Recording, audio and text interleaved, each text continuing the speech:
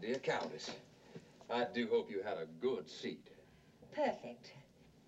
Yes, yes. I, I was in a perfect position to see everything.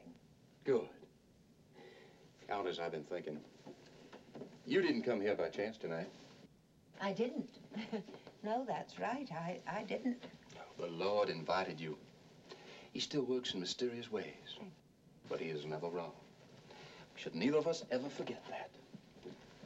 He sent you here for one good reason, to protect you. Now, you know that, don't you? What am I being protected from?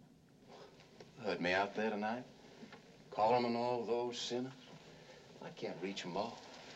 I mean, with seven shows a week, even with seven meetings a week, I can only scratch the surface because that city out there is just festering with sin.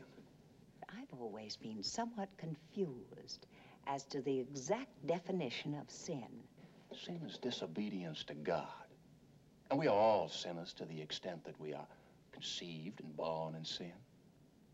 That's God's punishment to man for defying him in the Garden of Eden. He had to send down his only son to redeem us from it. Yes. Forgive me. It all seems such a long time ago. So impersonal in a way.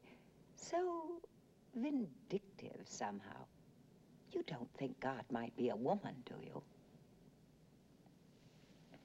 Certainly not. No, ma'am. I, I can assure you God is not a woman. He created man in his own image. And he forbade Adam and Eve to eat of the apple. He knew Satan would tempt them to disobey. But he was testing man to see if man would serve him or Satan. He wasn't sure. Well, of course he was sure. God can't be surprised. Oh, how dull for him. He knew Adam and Eve would eat of the apple. But if he knew, why did he bother? That seems rather frivolous. I mean, wouldn't you agree? It's such an awful lot of trouble to go to just because of a personal fight with Satan. Actually, if he hadn't let them eat the apple in the first place, he needn't have sent his son. Well, ma'am, the fact is, he did send his son. So now there is no longer any excuse for the obstinate sinner. The path to salvation is open to every Christian. Oh, it's limited, is it? I beg your pardon? Limited to Christians. Well, in a sense, yes. What, what, sort of sense is that? It's very good sense, Countess. I mean, there is only one true religion. Well, who decided that? Did God take care of that, too? I mean, I'm not what you'd call a much traveled woman. But I seem to recall in some of the better quality pictorial magazines that in several of the more out of the way places, God hasn't made that quite clear. But point is, we're still trying to, to push God's message across. Yes.